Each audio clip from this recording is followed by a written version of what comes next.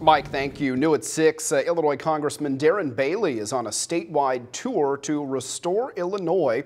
That tour started in downstate southern Illinois, hitting Metropolis, Marion, and Mount Vernon, along with Fairfield, Centralia, and Highland before stopping in Quincy this morning.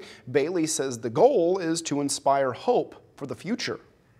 We believe there's a future for Illinois. We believe it's good, and we believe that if the silent majority steps up, uh, such as these friends who are here today and, and, and get themselves educated, understand how to vote and who to vote for, that we can truly restore Illinois. That's what we're after.